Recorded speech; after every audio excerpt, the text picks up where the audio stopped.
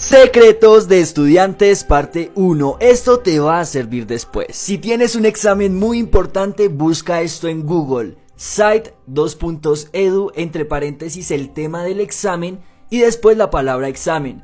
Así te aparecen todas las páginas de entidades oficiales de estudiantes donde están los exámenes que usan tus profesores y tienen las respuestas. No fue gratis, tienes que decir esto rápido y sin trabarte. Es imposible hablar mal de Arturo. Hablar mal de Arturo.